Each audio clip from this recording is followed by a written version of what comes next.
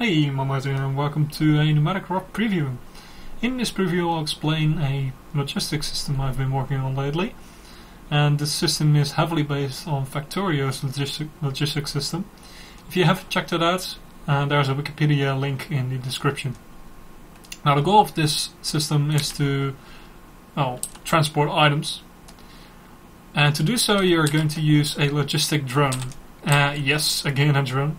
But this is a lower tier drone.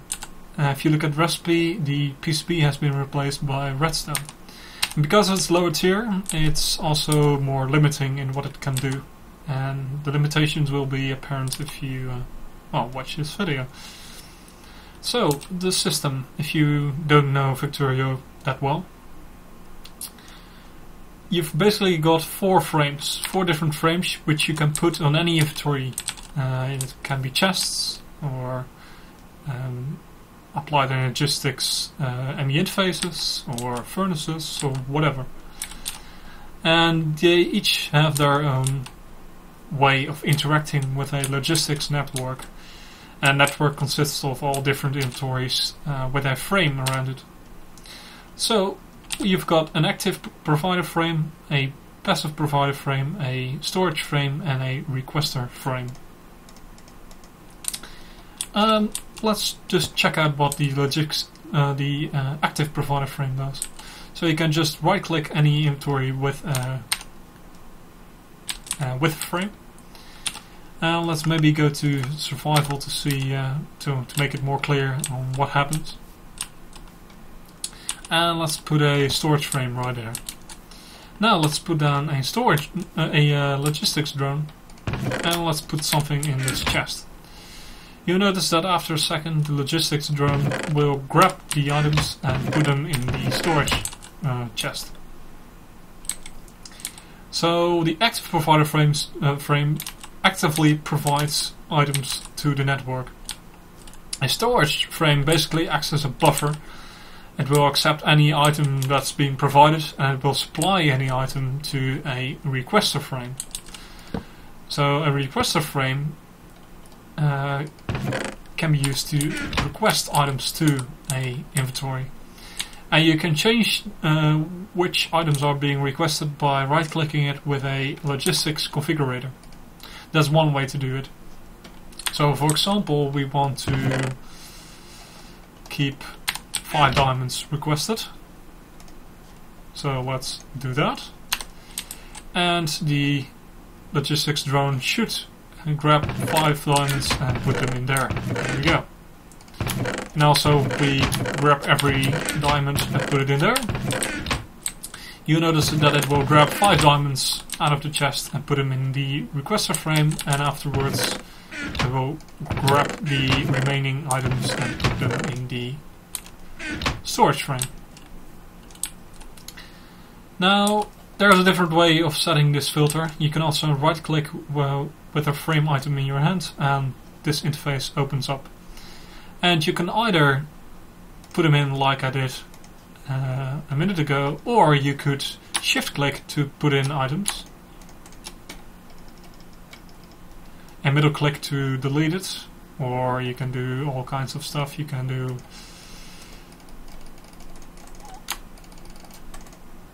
you can do different things. Um, more info about that is in this info tab.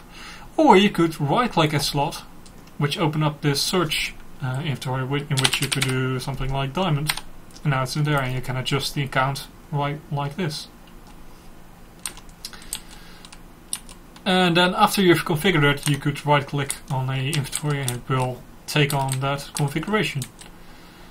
Now, a different frame we can put on. So a active provider frame provides items to storage frames and requester frames. Now we could change that up. We grab the diamonds and we delete it and we put down a passive provider frame and put in the diamonds. You notice it will again take 5 diamonds from that chest and put it in the requesting chest.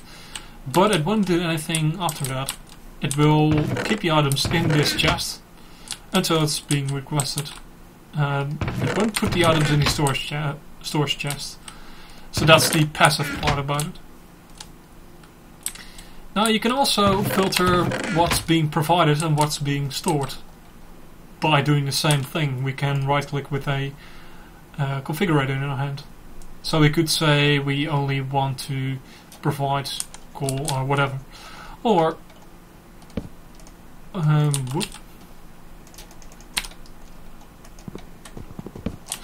Or we could, for example, use these uh, storage frames as um, chests that are being sorted in. So you can use this as a sorting system. These are your sorted chests. So you could configure it to uh, let's do ores. We could say this one can only have gold ore and this one can only have iron ore. Take the diamonds out. Uh, let's grab some items, put them right in there. And maybe let's change it up to an active provider frame. And we should see that the uh, drone will come and grab the items and put them in the appropriate chest. And now we can maybe do something like that. And it will keep the chest supplied with the items we want. And the chest only holds the items we want it to have. So let's put this, this what we learned into use. We've got this set up and basically this is our input chest with all kinds of items.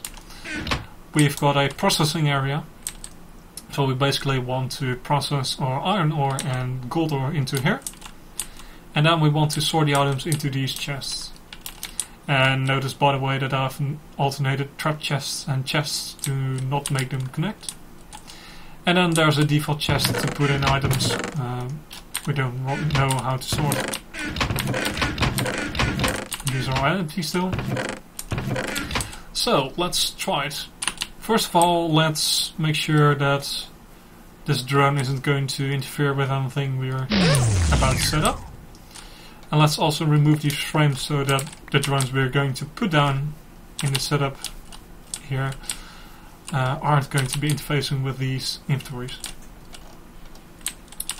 So these are a few limitations that they can interfere with each other.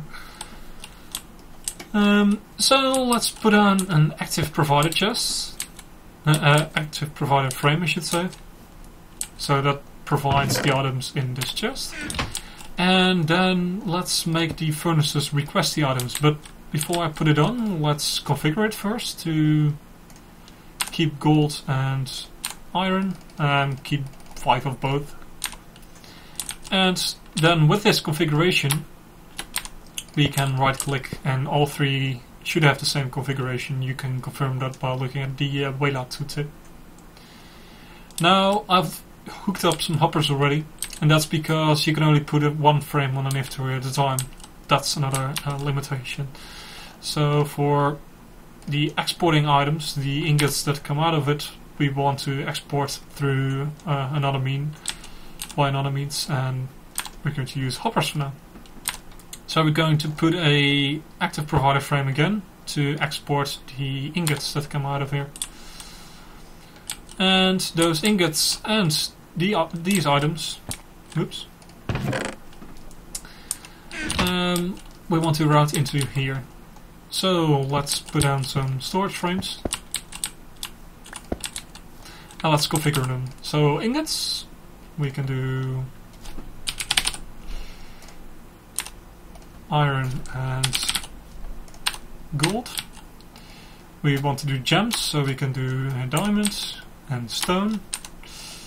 Um, Let's look it up. Stone and dirt. And the default chest we're going to leave empty. And that's, this basically should be it. Now if you place down the logistic drone, you'll notice that it will take a bit before it will run. That's another limitation. It, it will take its time to calculate which uh, action to take. And another uh, thing you know you might notice is that the default chest is further away from any other storage chest. And that's because that's the only way to do a default location. The default chest should always be the third, furthest uh, location, furthest uh, inventory. Because the uh, AI of the logistics system looks for closest inventory first. So because one drone isn't doing uh, it as fast as we wanted to, let's put it down some more drones. And in a few seconds, there we go. They will grab all the items we want.